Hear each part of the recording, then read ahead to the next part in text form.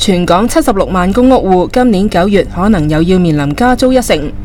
房委会资助房屋小组委员会计划喺七月开会检讨租金，按照居民喺二零一五年至到一七年嘅入息变化，决定租金嘅水平。根据政府统计处嘅数字，公屋户喺呢一段时间嘅入息中位数升幅达到百分之十六点六。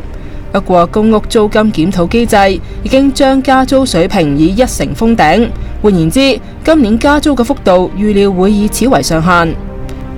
过往当局曾经派糖免租，但系到对上一次调整租金嘅时候，已经冇任何宽免，因此外界预料今年同样再冇宽免租金措施。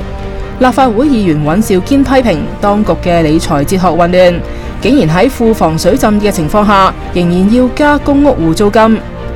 公屋联会总干事招国伟建议公屋租金调整机制加入考虑通胀因素，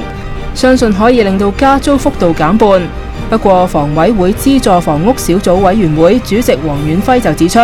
目前睇唔到有好大嘅空间要检讨机制，因为工资增长亦都系由通胀带动。东网记者陈淑仪报道。